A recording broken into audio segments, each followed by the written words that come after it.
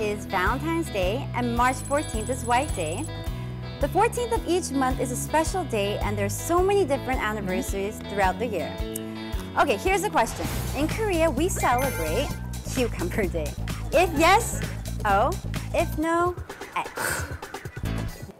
Let's see, Kiyoum, you're the only one Yes. right now with yes, there is Cucumber Day, and Yes. the rest is X. So meaning people who are watching right now, whoever believes in, yeah, I think maybe the X is right because majority rules, mm -hmm. then, you know, I guess the points goes to them. If not, it can might be the only them? one. Yeah, so you can yes. convince them. Uh, in Korean, cucumber is, what is it? Oi. Oi.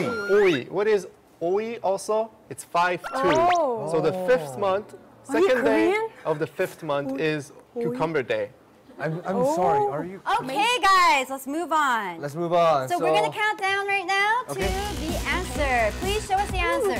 Three, Three, want to. two, two, one. We'll see what the viewers have to say. Please show us the results.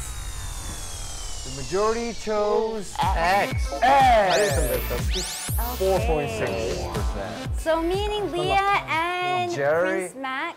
No, Jerry Oh changed. yeah. Jer- What is, what's that? Jerry changed it This oh. to is O. oh oh. Oh, X. Oh, EXO. Thank you. Yeah. Wow. We are a team. You're so smart. Korea has a cucumber starting with the 14th Wow. of each month.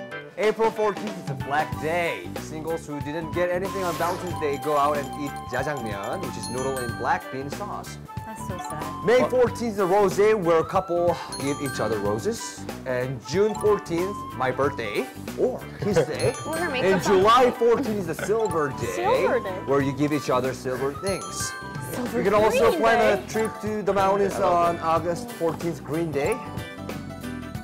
Cucumber Day, as its name suggests, is a day you eat cucumbers. What? The day was made by the Rural Development Administration to encourage people to eat more cucumbers.